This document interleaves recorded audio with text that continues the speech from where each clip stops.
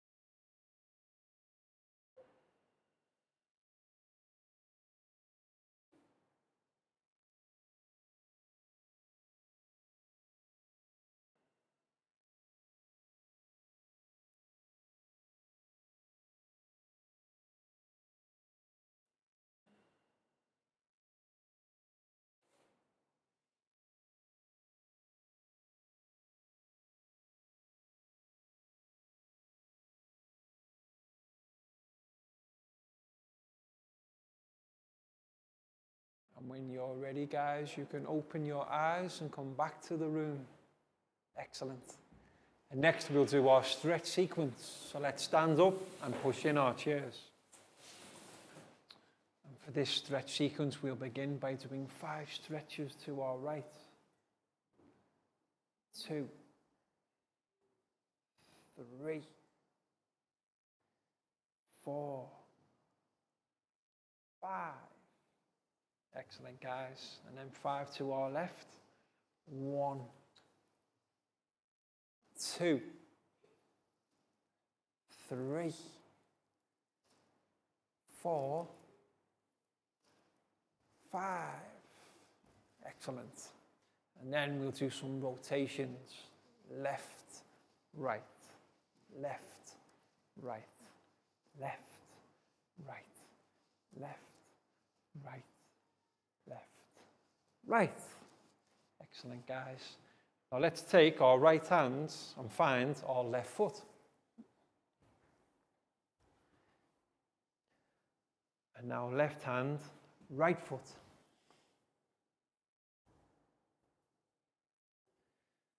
And then right hand, left foot.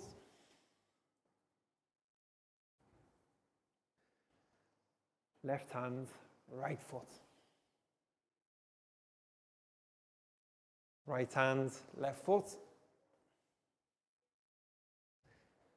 Left hand, right foot. Right hand, left foot. Left hand, right foot. Let's have a shake out, guys. Shake it out. Shake it out. Very good. And to finish, we will do five claps. One, two, three, four, five. Excellent, guys. Have a seat. Now, in our previous English lesson, we learnt about some phrases that we use when we must do something. If I tell you you must do something, can anybody remember the phrases that I might use? There were two of them that we use in the present tense, beginning with H.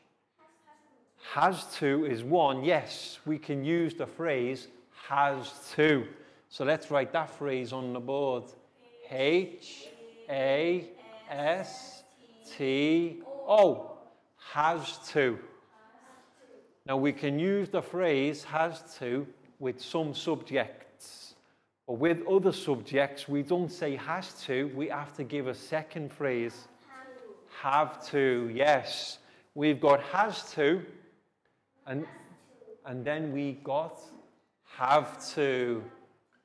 H A V E T O. Has to and have to. Now, what we did in the last lesson, we learned about the different subjects I, you, we, they, he, she, it. Now, what we learned to do is we learned how to use these phrases with the correct subject pronouns in the present tense.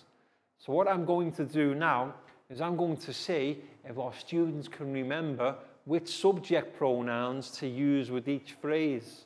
I'm going to give my students a pen and then give them a subject pronoun. And I want them to write the correct pronoun in relation to the correct phrase, has to or have to. So let's get ready, guys. Let's see who can go first. So I think we'll begin with Pak Bung. And let's see, we'll give Pak Bung the subject pronoun it. So, guys, if we have the subject it, do we say it have to? Has to. It has to.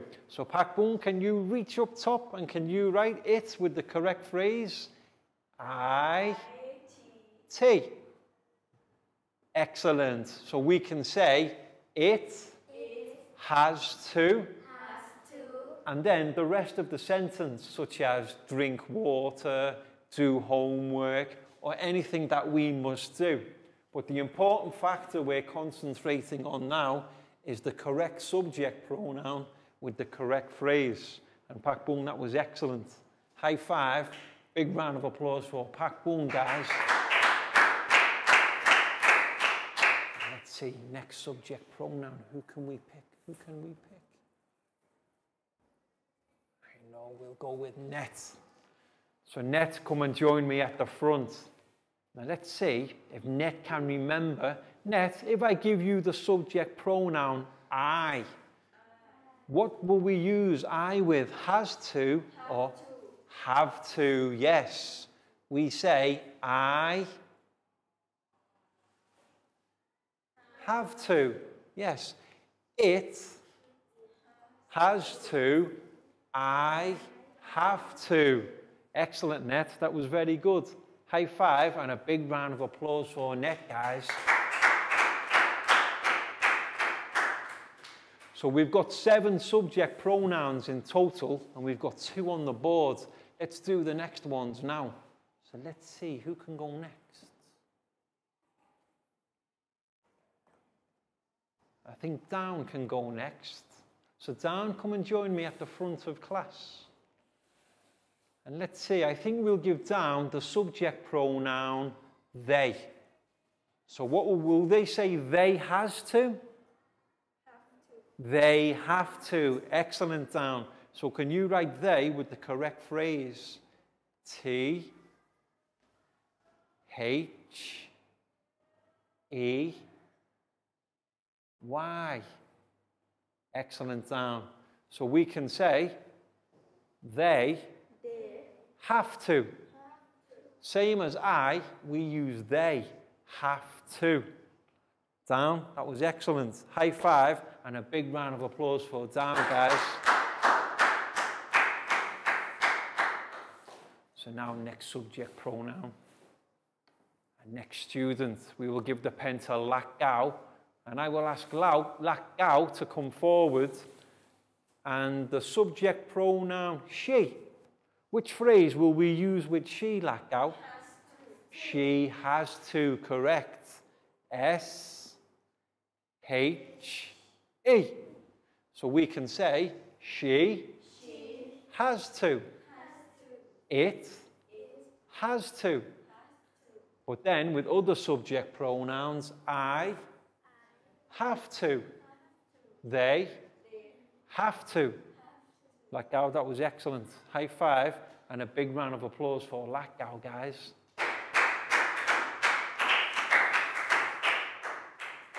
Okay, so next student with the next subject pronoun. We'll give the pen to Nadia. Nadia, come and join me at the front, please. And Nadia, I would like you to write the subject pronoun you. Where will you go? You has to? You have to. So Nadia, you can write it there. Excellent.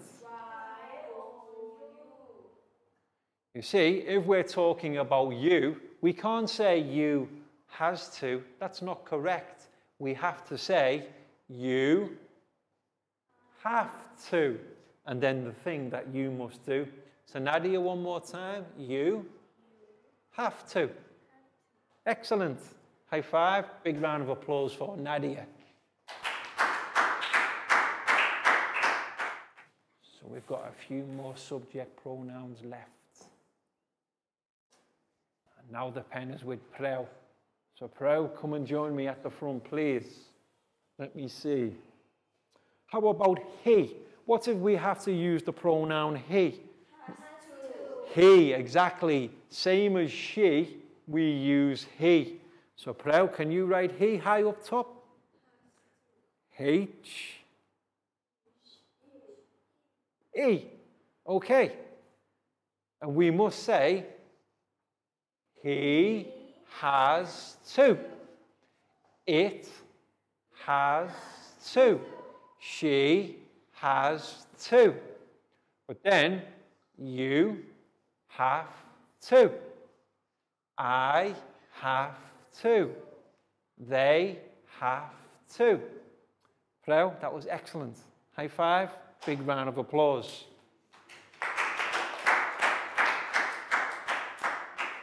And there's one more subject pronoun left, one that we haven't done yet. Can anybody guess which one it is? We. Okay, so who can do we? Let's see. Who can we choose for we? I know Pat can do we. Pat, can you come and join me at the front, please? okay, so the subject pronoun we. Which phrase do we use the subject pronoun? We have to. Excellent, Pat. So can you write we? W E. Excellent. We have to. Excellent. So we've got all our subject pronouns now with the correct phrases. She has to. It has to. He has to. And then if we talk about you have to, I have to, we have to, they have to. And then each time we will continue the sentence with the things that we must do.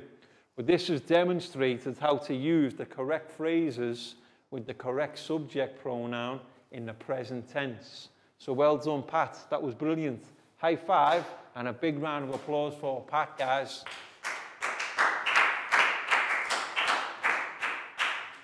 But like I said earlier, these two phrases we use when we're talking about things we must do now. Present tense. P R E S E N T. Present tense. But what tense do we use about things that we've already done? Past tense. P A S T. Now, can anybody remember the phrase that we use for the past tense? In the past tense, we don't say has to. We don't say have to. Can anybody remember? Has had to. Yes. Had to. H A D T O. Now, the good news, when we talk about what we must do in the past tense, there's only one phrase have to. In the past tense, we can use had to with all subjects. So we can say, she had to. Not has to, she had to. Notice the final letter. The pronunciation is very important to sound correct. She had to. It had to. He had to. You had to. I had to. We had to. They had to. Excellent, guys. You see, very important because between has and had, only one letter difference. But it's the final letter that makes the sound correct. So well done, guys. That was very well done and very well remembered.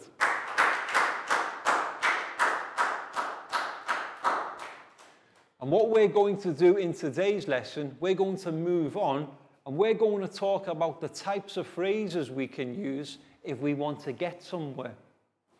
Does anybody know what types of phrases we use? If somebody asks you where somebody is, what type of phrases will you use? If I ask you to turn, what ways might we turn?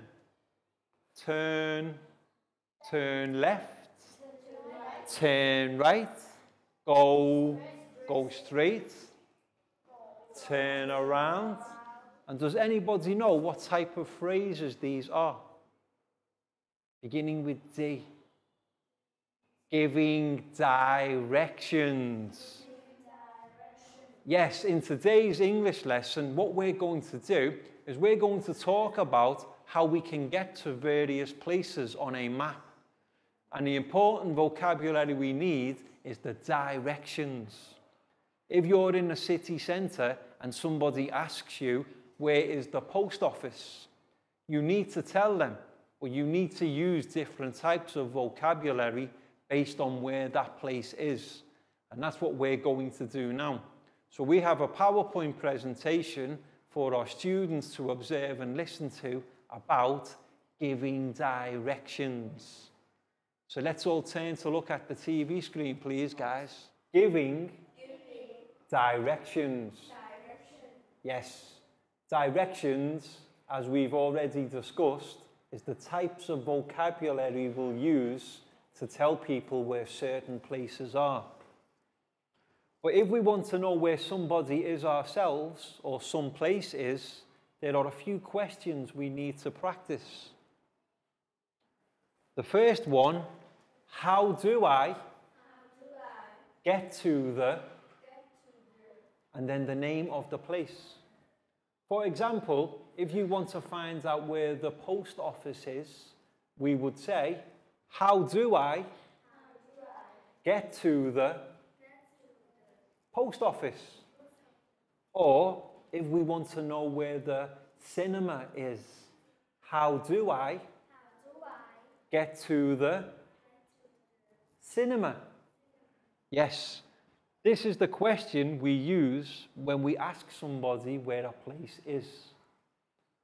And if we want to know another type of place where we don't have to go far, where is the nearest coffee shop? Yes, nearest means closest to us. If we don't want to walk a long way, we ask for the nearest. So if we're in the city centre and there are lots of coffee shops, but we want to know the one closest to us, where is the nearest coffee shop? Okay, now who can give me another example of a place in the city centre? We've had post office, coffee shop, any other places?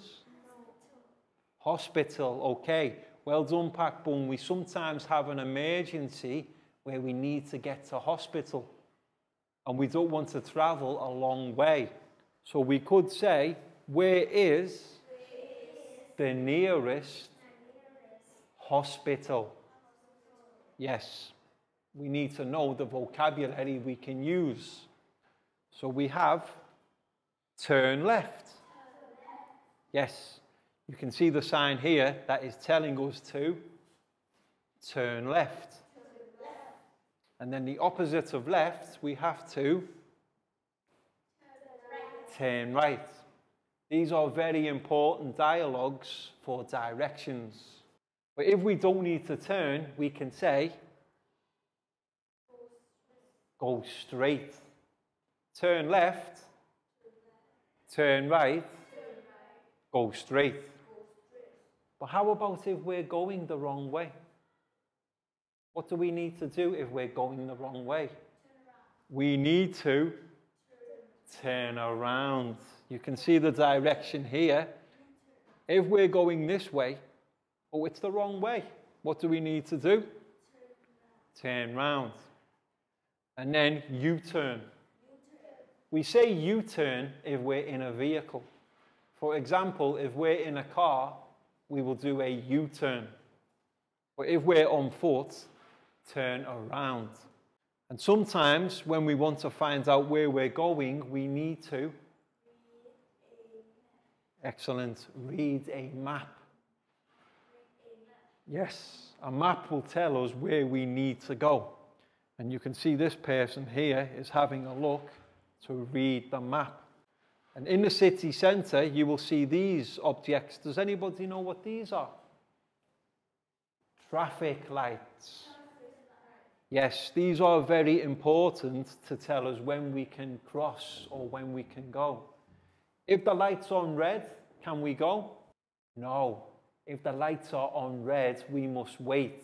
What light must we wait for before we can walk across the road with traffic lights? No, red means we can't go. Green. Green, yes. Always wait for green on the traffic lights, guys. Red means danger. It means there could be cars coming. But if the lights are on green, you can go.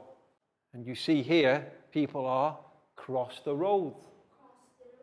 Yes, sometimes where we want to get to isn't on the right side of the road. We need to cross the road. Does anybody know what this is? Roundabout. Yes, you can see there are roads leading in all directions. And in the middle is a circle. We say this is round. So that's why we call roundabout. Yes. Now, a good phrase to use when giving directions, it's near to. Yes, what it's near to means is it's not far away from. So if we want to tell somebody where to go and we know one place, like we could, for example, say it's near to school, school. Factory. factory, airport, airport. Hotel. hotel, museum, museum. Hospital. hospital, or car park. Yes, if we know one place and the place where the person wants to get to is near to there, we use the phrase, it's near to. But if the place is right next to, we can say, it's next to.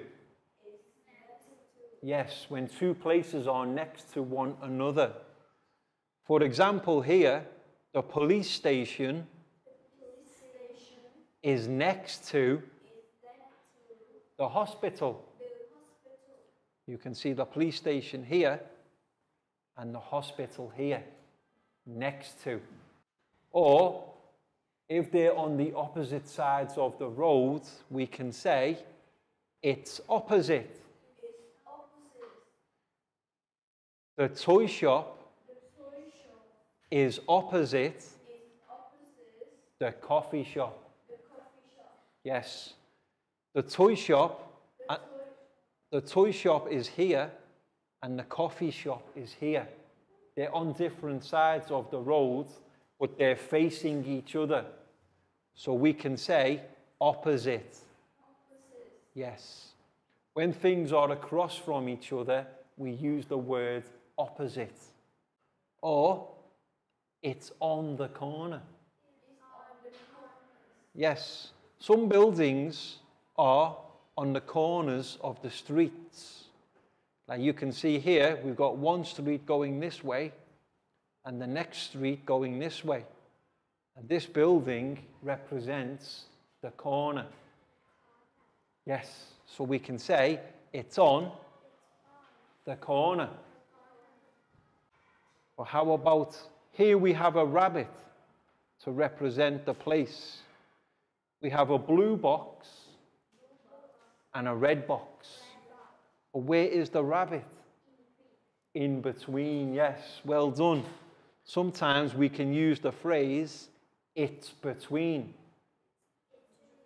Yes, like we could say here, the rabbit is between the blue box and the red box.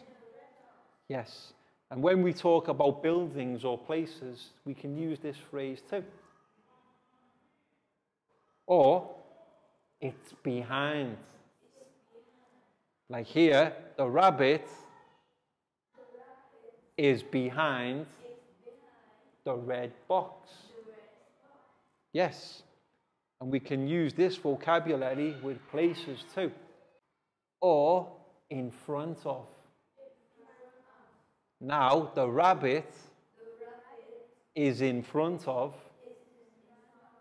the red box. Yes.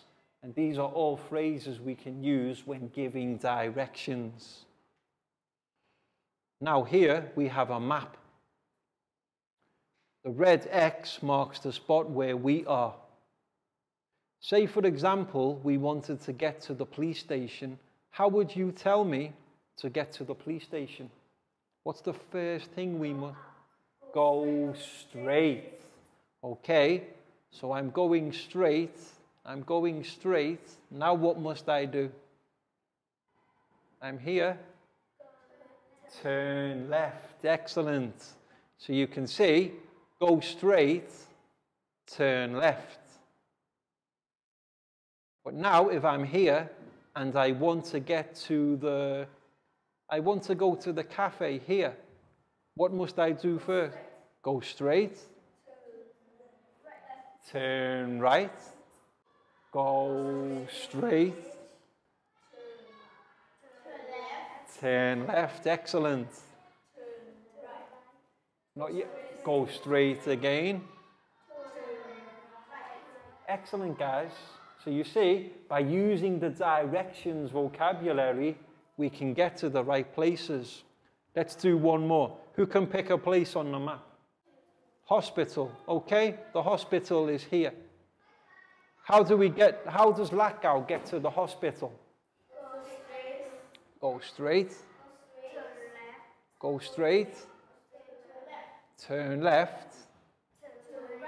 Turn right. And that's how we get to the hospital. And we could say the hospital is next to, the police station. Well, how about the cinema? The hospital isn't next to the cinema, it's opposite the cinema. You see, because they're on separate sides, the hospital and the cinema are opposite.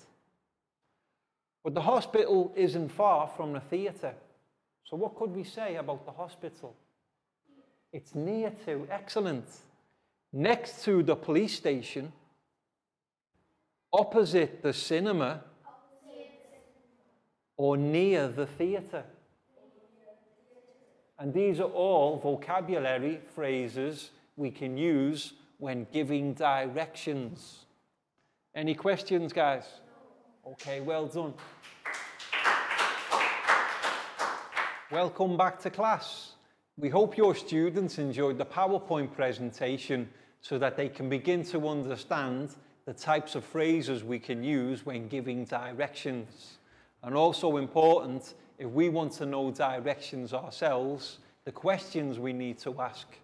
How do I get to the, or where is the nearest?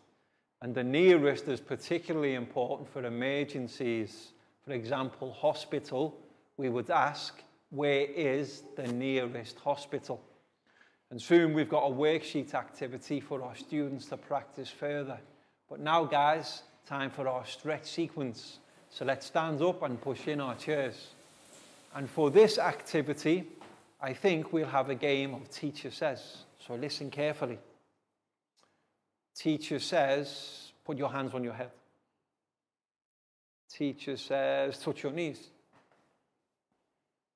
Touch your shoulders. Teacher says, stand up straight. Teacher says, arms in the air. Arms down. Teacher says, arms down. Teacher says, turn around. Turn back the other way. Teacher says, back the other way. Teacher says, arms up. Teacher says, one arm down. Teacher says, swap. Teacher says, swap. Teacher says, swap. Teacher says, swap. Teacher says, swap. Teacher says, arms down. Teacher says, stand on one leg. Stands on both legs. Teacher says, swap legs. Teacher says, stands up straight. And then teacher says, down into a little ball. Five, four, three, two, one. Teacher says, jump. Excellent, guys. And teacher says, please sit down. And what we've got now is a board demonstration for our students to understand some of the places in relation to each other on a map in preparation for the map and worksheet activity. So first of all, I will draw a map on the board. A basic map that we will see in many city centres.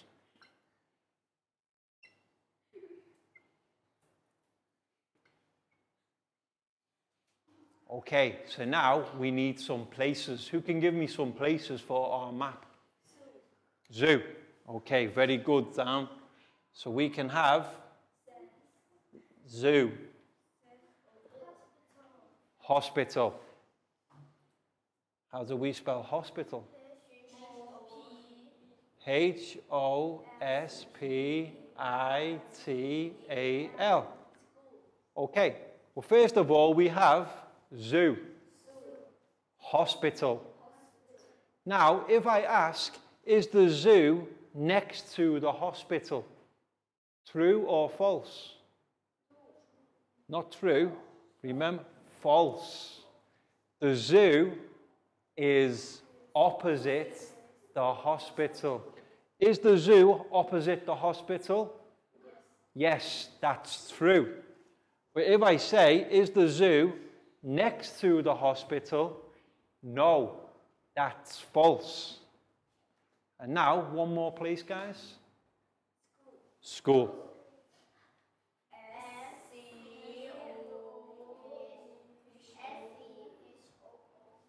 Okay, and one more place. Cinema.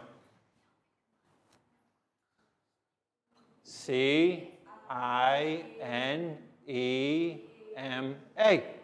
Okay, so now if I ask the question, is the school next to the cinema?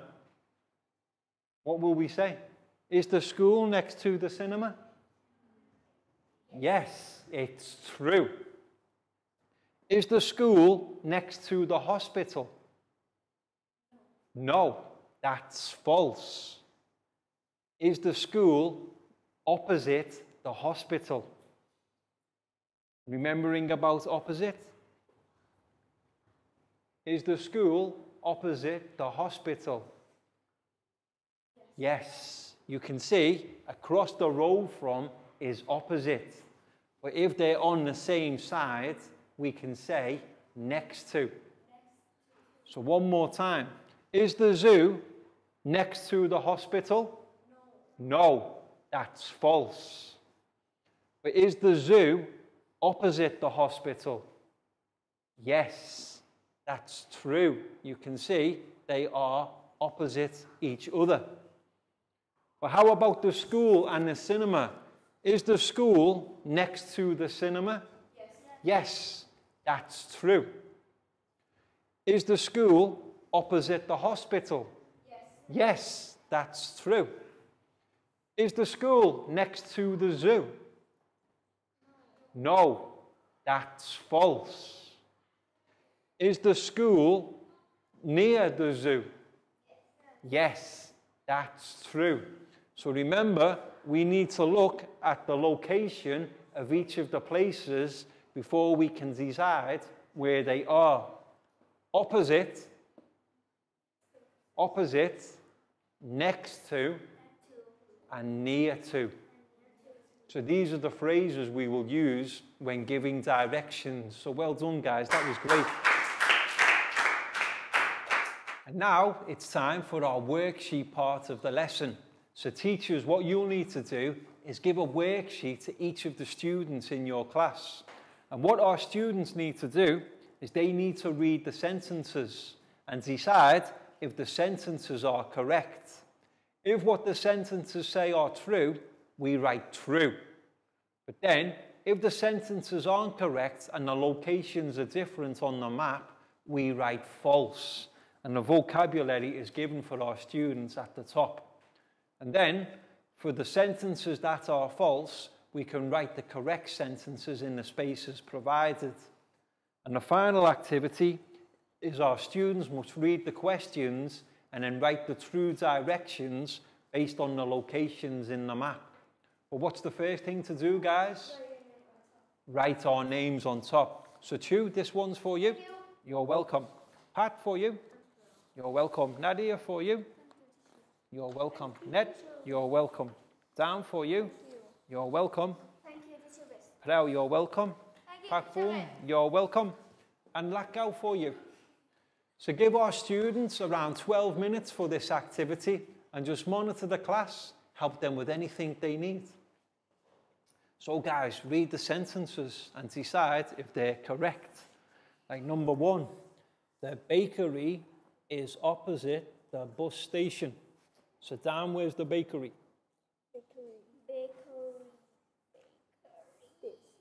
Okay. Bakery, Yes. where's the bus station? Bus station. This. Are they opposite? No. So we say false. If it's not true, we say false. If it's true, we write true.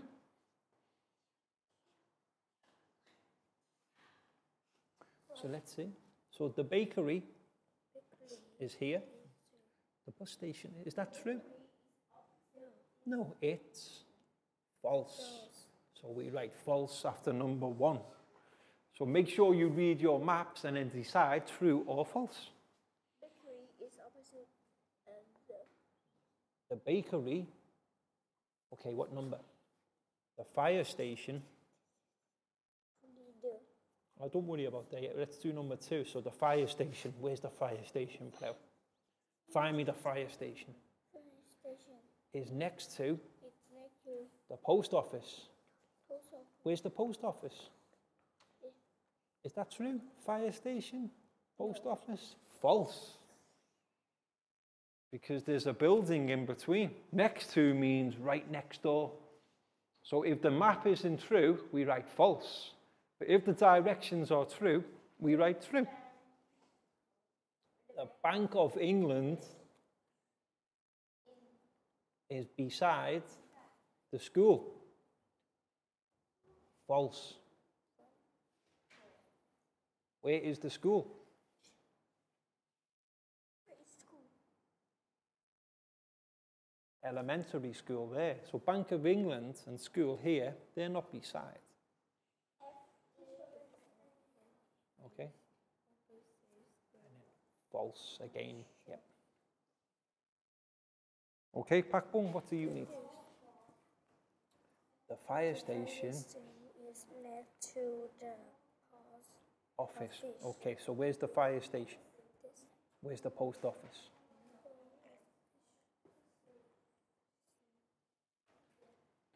Not next to, they're near to. Next to would be here.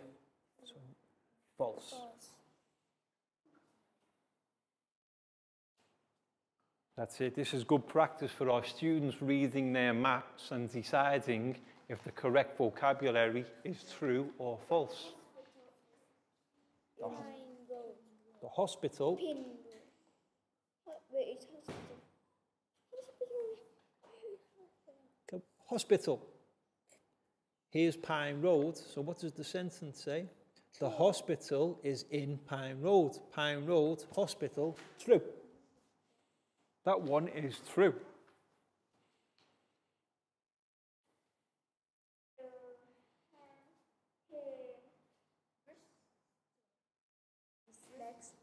The hairdressers, let's see, can we find hairdresser? Hairdresser here. So is, it, is that true or false, Dan? So here's the hairdresser. Where's the hotel? Where is hotel? Here, hairdresser and hotel. No. Are they, are they next to? False. A L S E. Okay, so the Bank of England is beside the school. False. Yes. Welcome back to class. We hope your students enjoyed the worksheet activity where they had to read the various sentences and judging by the locations on the map, decide if they were true or false. And then for the true statements, write them correctly in the spaces provided. My students here all did a brilliant job. So well done, guys. That was great.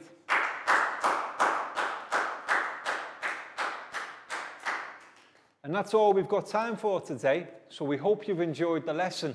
And the next time you're looking for directions, you know how to ask. And also, if somebody asks you, you know how to respond with the correct vocabulary. And we'll see you again soon for the next lesson. So can we turn to wave and say goodbye, guys? Bye-bye. See you again soon.